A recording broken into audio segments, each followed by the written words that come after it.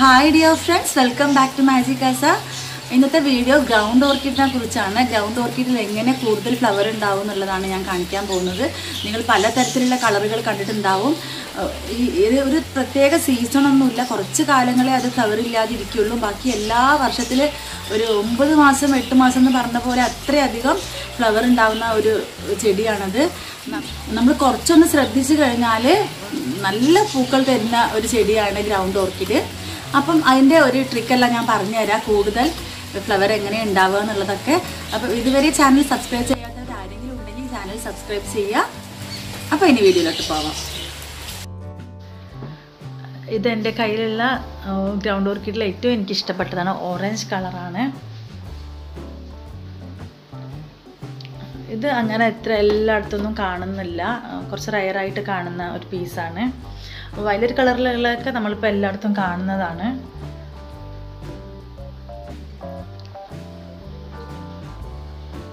പിന്നെ ഈ ഒരു മോഡലും തന്നെ യെല്ലോ ഒരു ലൈറ്റ് യെല്ലോയിൽ ഒരു വയലറ്റ് കളർ ഉള്ളതാണ്. ഇതും അതുപോലെ നല്ലൊരു വെറൈറ്റിയാണ് ഇതെല്ലാം ഹൈബ്രിഡ് വെറൈറ്റിയാണ് കേട്ടോ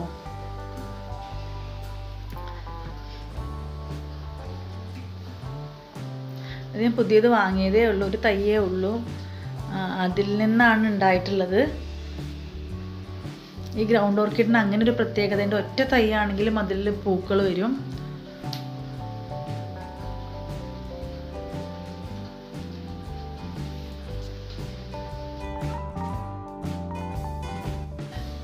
ഇത് കോമൺ ആയിട്ട് കാണുന്ന ഒരു വെറൈറ്റിയാണ് ഞാൻ പറഞ്ഞല്ലോ. വയലറ്റ് കളർ ഡബിൾ കളർ ഷെയ്ഡാണ് ഇതെല്ലാം ശരിക്ക് ഫെർട്ടിലൈസ് ചെയ്യേണ്ട സമയം കഴിഞ്ഞിട്ടുണ്ട്. അതുകൊണ്ടാണ് എത്ര ഹെൽത്തി അല്ലാത്തതിന്റെ ഫ്ലവർ എല്ലാം. ഇതിൽ നിറയെ ഉണ്ടായിരുന്നു കേട്ടോ. അത് കൊഴിഞ്ഞു പോയതാണ്.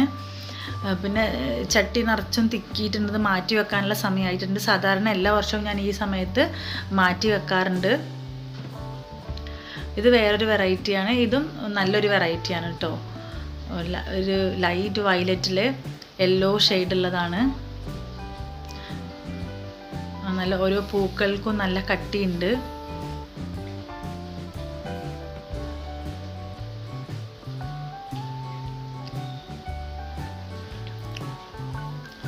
ഇത് വേറൊരു വെറൈറ്റിയാണ്. നല്ല ആ സെയിം കളർ തന്നെയാണ് ഇപ്പോൾ നേരത്തെ കണ്ടേ. പക്ഷെ അത്രക്കും ഒരു കട്ടിയില്ലാത്ത പൂക്കളാണ്.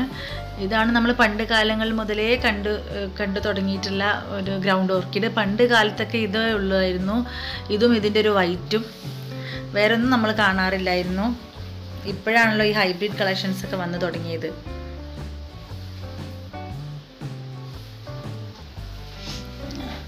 എന്റെ കയ്യിൽ കിട്ടിയതിൽ വെച്ചിട്ട് ആദ്യം എനിക്ക് കിട്ടിയത് ഈ ഒരു വയലറ്റ് കളറായിരുന്നു എനിക്കിപ്പോഴും ഇത് ഭയങ്കര ഇഷ്ടമാണ് കേട്ടോ. നല്ല തിക്കായിട്ടുള്ള ഫ്ലവറാണ് ഇതിനുള്ളത്.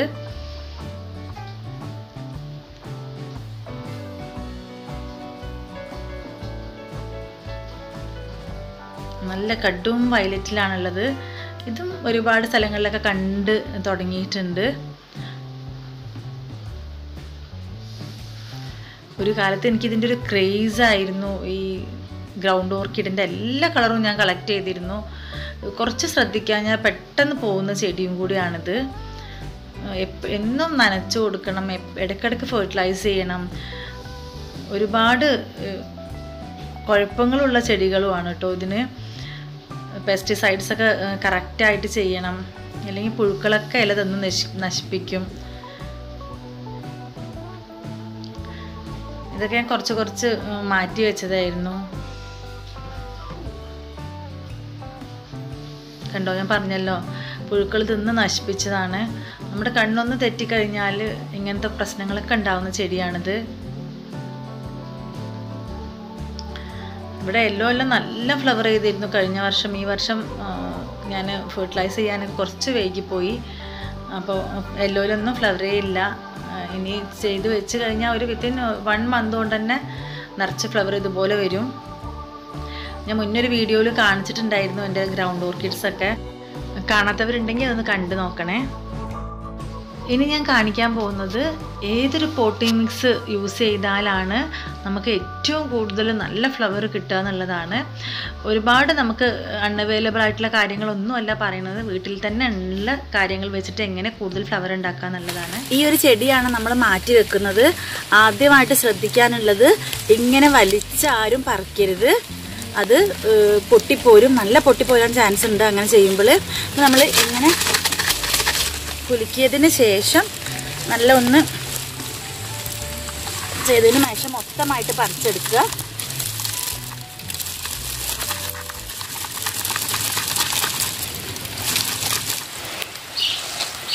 ഈ ഒരു മിക്സ് എങ്ങനെയെന്ന് വെച്ചാൽ പകുതി കൊക്കോപ്പിറ്റും മണ്ണും ബാക്കി നമ്മൾ വളപ്പൊടിയാണ് എടുക്കേണ്ടത്.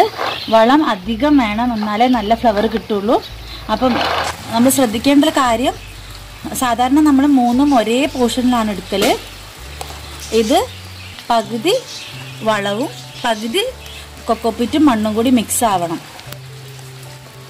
മനസ്സിലായല്ലോ ഞാൻ പറഞ്ഞത് പോട്ടിംഗ് മിക്സിന്റെ ഹാഫ് ഭാഗം വളപ്പൊടിയായിരിക്കണം ചാണകപ്പൊടിയോ ആട്ടിൻകാഷ്ടം എന്തായാലും കുഴപ്പമില്ല.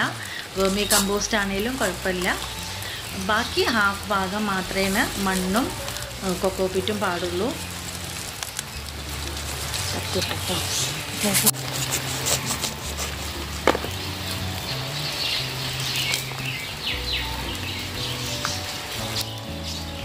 ഇത്ര ഒരു പോർഷൻ മതി.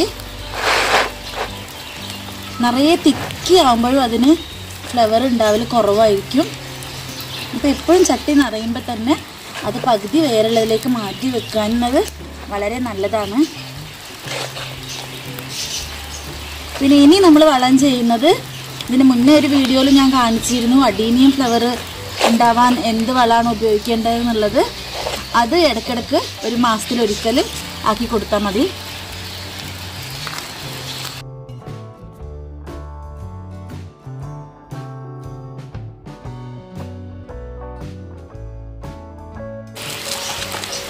എക്സസ് ആയിട്ടുള്ള കുറേ വേരുകളൊക്കെ നമുക്ക് അറുത്ത് കളയാം.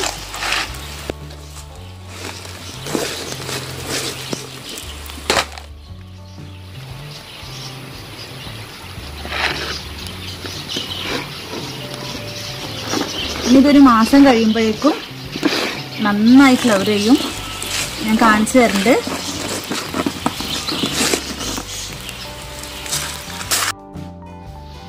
അപ്പം ഈ ഒരു ടൈം ഒരു ആപ്പ് ടൈമാണ് നമ്മുടെ ഗ്രൗണ്ട് ഓർക്കിഡ്സ് റീപ്പോർട്ട് ചെയ്യാനും ഫെർട്ടിലൈസ് ചെയ്യാനും ഒക്കെ ഉള്ള ആരുടെങ്കിലും കയ്യിൽ ഗ്രൗണ്ട് ഓർക്കിഡ്സ് ഉണ്ടെങ്കിൽ തീർച്ചയായിട്ടും ഈ സമയത്തെങ്കിലും നമ്മളൊന്ന് ഫെർട്ടിലൈസ് ചെയ്യലും റീപ്പോർട്ട് ചെയ്യലൊക്കെ ചെയ്യണം. ചട്ടി തിക്കി നിൽക്കാതിരിക്കാൻ ശ്രദ്ധിക്കുക. ഓരോരോ ഒരു ചട്ടിയിൽ നിറയെ ഉണ്ടെങ്കിൽ ഒരു മൂന്ന് മൂന്ന് ചട്ടിയിലേക്കൊക്കെ മാറ്റി വെക്കാം. നിറയെ പൂക്കളുണ്ടാവും ഞാൻ ഗ്യാരണ്ടിയാണ് അധികം ഒരുപാട് ചാണകപ്പൊടി ഇട്ട് കൊടുക്കുക. അത് തന്നെ ഉള്ളൂ ഇതിന്റെ ഒരു വഴി. വേറെ നമ്മൾ ഒരു കെമിക്കൽ ഫെർട്ടിലൈസർ ഒന്നും യൂസ് ചെയ്യേണ്ട ആവശ്യമില്ല. പിന്നെ ഞാൻ പറഞ്ഞല്ല മുന്നത്തെ വീഡിയോയിൽ കാണിച്ചു എന്ന് അതെന്താന്ന് വെച്ചാൽ മുട്ടത്തോൽ ചായപ്പൊടി പഴത്തൊലി ഇത് മൂന്നും കൂടി മിക്സിയിൽ അരച്ചിട്ട് അത് ലൈറ്റാക്കിയതിന് ശേഷം ഒരുപാട് വെള്ളം ഒഴിച്ച് ലൈറ്റാക്കിയതിന് ശേഷം ഒഴിച്ചു കൊടുക്കുക. അതും വളരെ നല്ലതാണ്.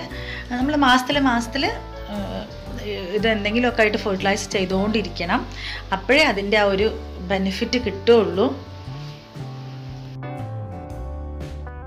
എപ്പോഴും ഞാൻ ഇത് റീപോർട്ട് ചെയ്യണമെന്ന് പറയുന്നത് എന്താണെന്ന് വെച്ചാൽ നമ്മൾ എപ്പോഴും എപ്പോഴും വളം അതിന്റെ മേലെ ഇട്ട് കൊടുത്താൽ അത്ര എഫക്റ്റീവ് ആവില്ല മറിച്ച് നമ്മൾ പോട്ടിംഗ് മിക്സും മണ്ണും ഒക്കെ മാറ്റി കൊടുത്ത് അതിനൊന്ന് ഫ്രഷ് ആക്കി എടുക്കുമ്പോഴേ അതിന് കൂടുതൽ ഫ്ലവർ ഒക്കെ ചെയ്യാൻ പറ്റുള്ളൂ. അപ്പോൾ അതുകൊണ്ടാണ് ഒരു വർഷത്തിൽ കൂടുതലൊന്നും ഒരു ഒരേ പോട്ടിംഗ് മിക്സിൽ ചെടി വളർത്തരുത്. നമ്മൾ അറ്റ്ലീസ്റ്റ് ഒരു വർഷം കൂടുമ്പോഴെങ്കിലും നമ്മൾ മാറ്റി കൊടുക്കണം. അതിനു കൂടി വേണ്ടിയിട്ടാണ് ഈ റീപോർട്ട് ചെയ്യാമെന്ന് പറയുന്നത് കേട്ടോ.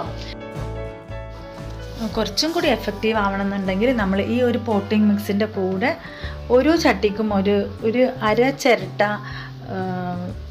എല്ലുപൊടിയും കൂടി കൂട്ടിയിട്ടുണ്ടെങ്കിൽ നല്ലതായിരിക്കും. ഇതിനേക്കാളും കൂടുതൽ ഫ്ലവർ കിട്ടും. അത്ര അർജന്റ് അത്യാവശ്യമായിട്ടുള്ള കാര്യമല്ല കേട്ടോ ഇത്. വേണമെങ്കിൽ ഒന്ന് ചെയ്ത് നോക്കാമെന്ന് മാത്രം. നിങ്ങളുടെ കയ്യിൽ എല്ലുപൊടി ഉണ്ടെങ്കിൽ അതും കൂടി ആഡ് ചെയ്തോളൂ. അതിന്റെ തന്നെ ഒരളവ് കൂടാൻ പാടില്ല. അളവ് കൂടിക്കഴിഞ്ഞാൽ ചെടി നശിച്ചു പോവും. അപ്പോൾ അത് നന്നായിട്ട് ശ്രദ്ധിക്കണം. അളവ് കൂടാതിരിക്കാൻ വേണ്ടിയിട്ട്. അപ്പം ഇന്നത്തെ വീഡിയോ എല്ലാവർക്കും ഉപകാരപ്രദമായിട്ടുണ്ടെന്ന് വിശ്വസിക്കുന്നു. ഒരുപാട് ആളുകൾ പറയുന്നുണ്ട് നോട്ടിഫിക്കേഷൻ കിട്ടുന്നില്ല നോട്ടിഫിക്കേഷൻ കിട്ടുന്നില്ല എന്ന് എന്താണ് അതിന്റെ റീസൺ എന്ന് എനിക്കേ അറിയില്ല അതുകൊണ്ട് തന്നെ ചില വീഡിയോസിനൊക്കെ വളരെ വ്യൂസ് കുറവാണ്. അപ്പം എന്റെ വീഡിയോസ് ഇഷ്ടപ്പെടുന്നവർ ജസ്റ്റ് ഒന്ന് ആ ചാനലിലൊന്ന് വന്ന് നോക്കുക. എന്തായാലും ആഴ്ചയിൽ ഒരു ഒരു വീഡിയോ എങ്കിലും ഇല്ലാതിരിക്കൂല. അപ്പം ഇഷ്ടപ്പെട്ടിട്ടുണ്ടെങ്കിൽ സബ്സ്ക്രൈബ് ചെയ്യുക ലൈക്ക് ചെയ്യുക കമന്റ് ചെയ്യുക. അപ്പം ഇനിയും കാണുന്നത് വരെ ബൈ ബൈ.